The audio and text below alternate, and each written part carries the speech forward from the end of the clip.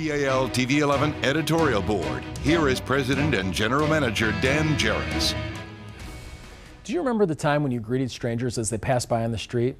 What about the person who held the door for you or saw a young boy helping an elderly woman across the street? Acts of civility are a hallmark of our country. Unfortunately, a lack of respect seems to be commonplace today. We see it in our politics and we even see it in our communities.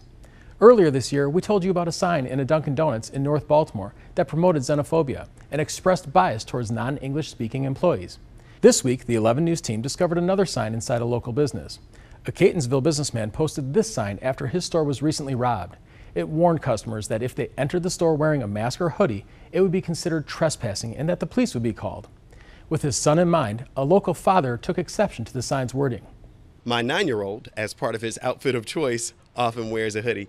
So I just wouldn't want to feel like I sent my son across the street to grab something to eat and then he runs the risk of having the police called on him. So that was my primary concern.